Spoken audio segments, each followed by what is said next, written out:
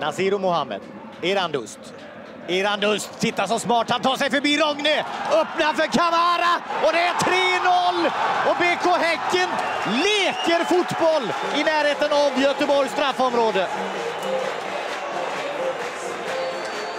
Kamara målskytt. Men Irandust, vilken spelare, vilken lirare!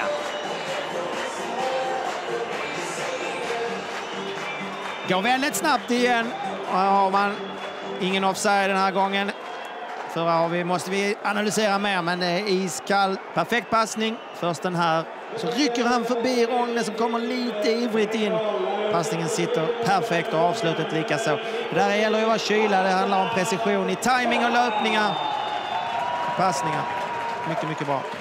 Vi är i minut 28 och BK Häcken har gjort tre mål. good.